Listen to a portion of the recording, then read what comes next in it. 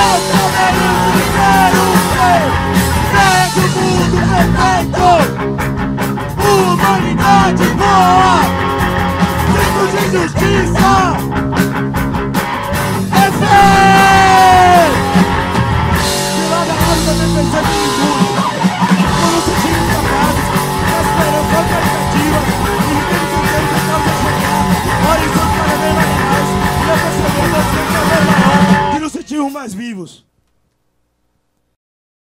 Na escola, o professor decide o que o aluno deve aprender. Ele está ali para ensinar. Alunos, pais e sociedade veem a escola como a chave que abre portas para o mercado de trabalho.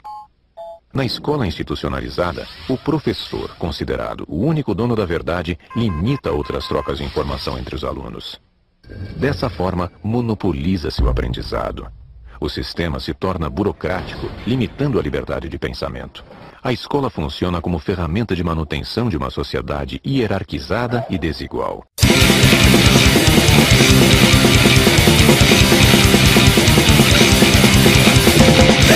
Aprender, o que eu vou te aceitar